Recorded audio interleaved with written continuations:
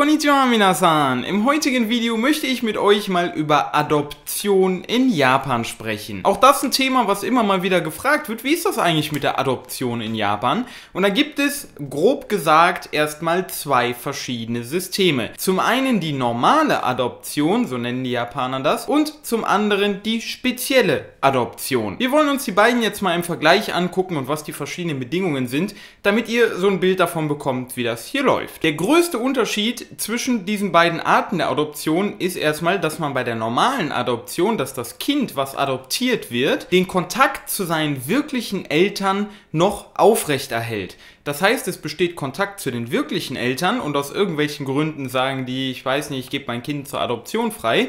Und die neuen Eltern, die Pflegeeltern, die adoptieren dieses Kind dann, aber es ist nicht so, dass gar kein Kontakt mehr zu den wirklichen Eltern besteht, sondern der ist noch vorhanden. Bei der speziellen Adoption ist es so, dass der Kontakt zu den wirklichen Eltern wirklich komplett abgebrochen wird. Da wird ein kompletter Schlussstrich gezogen und das Kind ist dann wirklich auch vor dem Gesetz das Kind von den Pflegeeltern. Es wird also komplett gesetzlich zu dem Kind der Pflegeeltern und der Kontakt zu den wirklichen Eltern wird komplett abgebrochen und da besteht also kein Informationsaustausch mehr. Was bei beiden Arten der Adoption vorhanden ist, ist, dass das Kind, was adoptiert wird, erben kann. Und zwar, wenn es bei der normalen Adoption hat es ja sozusagen zwei Eltern. Und es hat einmal die wirklichen Eltern und einmal die Adoptiveltern, also die Pflegeeltern. Und es kann von beiden erben. Es kann einmal von den wirklichen und einmal von den nicht wirklichen Erben. Bei der speziellen Adoption ist es jetzt so, dass das Kind dann nur von den Pflegeeltern erben kann,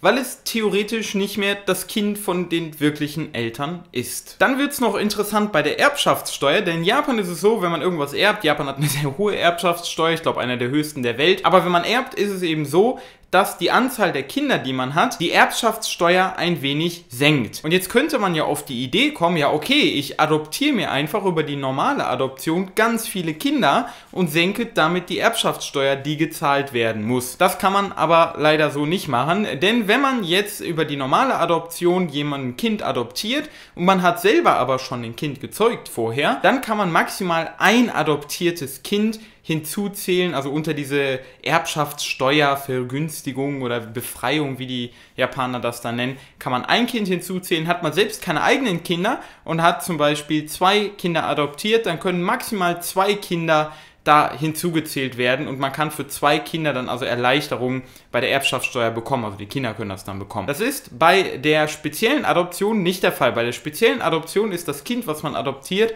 wirklich das eigene richtige Kind vor dem Gesetz. Deswegen kann man da theoretisch ja so viele Kinder komplett richtig adoptieren, wie man will, theoretisch.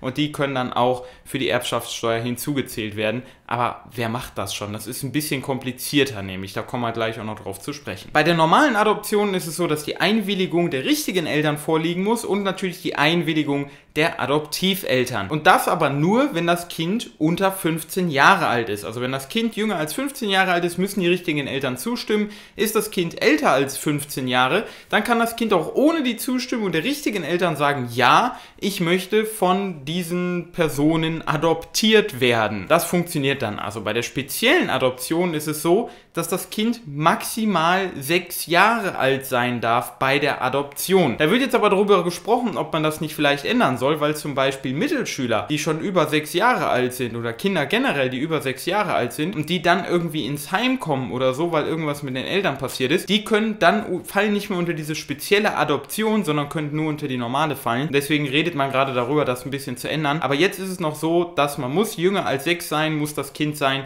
damit man es über die spezielle Adoption Adoption adoptieren kann. Man muss volljährig sein, natürlich, um ein Kind adoptieren zu können, bei der normalen Adoption auf jeden Fall. Und bei der speziellen Adoption ist es sogar noch ein bisschen härter, da muss man volljährig sein und man muss verheiratet sein. Das ist bei der normalen Adoption auch nicht der Fall. Also theoretisch könnte man auch als Einzelperson irgendjemanden adoptieren. Bei der speziellen Adoption ist es so, man muss verheiratet sein, man muss einen Ehepartner haben. Beide müssen volljährig sein und einer der Ehepartner muss über 25 Jahre alt auch noch sein. Ansonsten kann man über die spezielle Adoption niemanden adoptieren. Bei der speziellen Adoption ist es im Übrigen auch noch so, dass man vorher mit dem Kind, was man adoptiert hat, ein halbes Jahr leben muss zusammen und gucken muss, klappt das, ist das so, wie wir uns das vorgestellt haben und erst dann kann man beantragen, das Kind zu adoptieren. Bei der normalen Adoption gibt es im Übrigen keine Altersbegrenzung für das Kind, also da kann man ein Kind jeden Alters adoptieren, nicht so wie bei der speziellen, wo es eben nur ein Kind unter sechs Jahre geht. Wie adoptiert man jetzt so ein Kind? Da gibt es natürlich verschiedene Möglichkeiten. Entweder man sucht sich selbst irgendeine Familie, von der man ein Kind adoptieren will,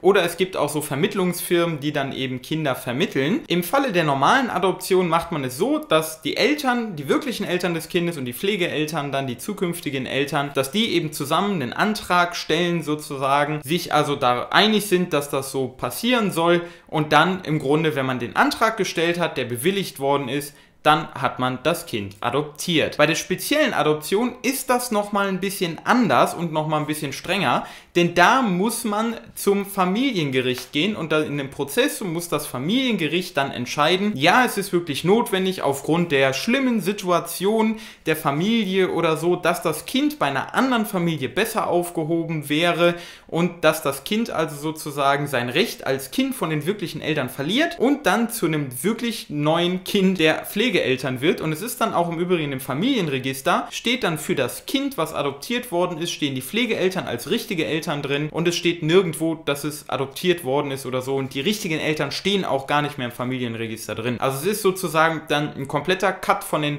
richtigen Eltern weg. Und das Kind geht auch vor dem Familienregister, im Familienregister in die Hand der neuen Pflegeeltern dann über. Und deswegen muss das eben über ein Familiengericht gemacht werden, damit auch genau bestimmt kann, ist das alles rechtens? Muss das Kind wirklich eine neue Familie haben? Und, und, und. Kann man so eine Adoption eigentlich aufheben? Ja, das geht. Wenn beide Parteien sagen, die richtigen Eltern, wir wollen das wieder haben, die anderen sagen, nee, wir brauchen das gar nicht mehr, dann kann man auch über den Antrag die Adoption wieder aufheben. Bei der speziellen Adoption ist es dann wieder ein bisschen schwieriger. Da muss das Familiengericht, kann unter bestimmten Umständen diese Adoption wieder aufheben, aber das geht wieder nur übers Gericht. Dann habe ich jetzt noch eine ganz schöne Statistik für euch. Hier sehen wir nämlich über die Jahre verteilt. Also ganz rechts haben wir jetzt Hese 28, das steht für 2006. Und da sehen wir eben, dass in den letzten Jahren sich, das ist jetzt für die spezielle Adoption, das muss man dazu sagen, für die normale Adoption habe ich leider keine wirklich guten Daten gefunden. Es gab immer nur so Fragmentstücke, aber keine schöne Tabelle.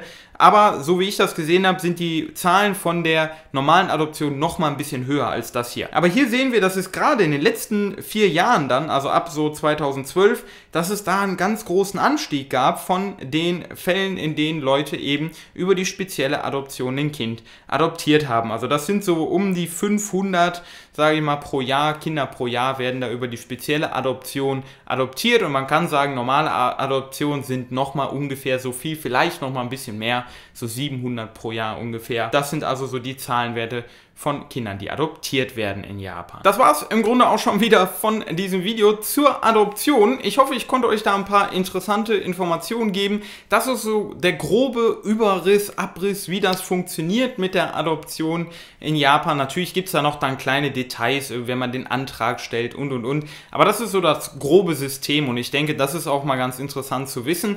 Wenn sich irgendwer dann dafür noch näher interessiert, dann muss man eben noch ein bisschen weiter recherchieren. Es ist im Übrigen glaube ich nicht möglich, über eine Adoption die japanische Staatsbürgerschaft zu erhalten. Ich kenne nämlich jemanden aus Deutschland, der das, der hier in Japan lebt, mit einer Japanerin ist er verheiratet und er hat einen Freund, also was heißt ein Freund, einen sehr, sehr jungen Freund, einen Sohn von einer Familie und den wollte er gerne nach Japan bringen, weil der Sohn hier unbedingt leben wollte und die haben alles versucht und er hat mir nämlich mal erzählt, dass die auch Adoption in Erwägung gezogen haben, um ihm dann, um diesem Jungen ein Visum zu beschaffen und das hat aber nicht funktioniert, hat er gesagt. Deswegen glaube ich nicht, dass man sich über Adoption irgendwie dann hier die Staatsbürgerschaft einkaufen kann. Das funktioniert also meines Wissens nach zumindest nicht so einfach. Das soll es aber auch gewesen sein von diesem Video. Ich hoffe, es hat euch gefallen. Ich hoffe, ihr konntet was Neues über Japan lernen. Schaut gerne unten in die Videobeschreibung. Da gibt es noch einen Link, über den ihr meine Arbeit, meine Videos hier durch eine direkte Spende unterstützen könnt. Es gibt meine Website, auf der ihr noch mehr über mich und Japan erfahrt, www.kevincapito.com. Es gibt außerdem ganz viele Online- Online-Kurse, falls ihr Japanisch lernen wollt. Hiragana, Katakana, Links dazu auch unten in der Videobeschreibung. Und mein Amazon Affiliate-Link. Wenn ihr über diesen Link was auf Amazon einkauft, bezahlt ihr keinen Cent mehr, aber ich bekomme noch eine kleine Provision und so könnt ihr meinen Kanal natürlich auch unterstützen. Vielen Dank fürs Zusehen und hoffentlich bis zum nächsten Mal. Tschüss!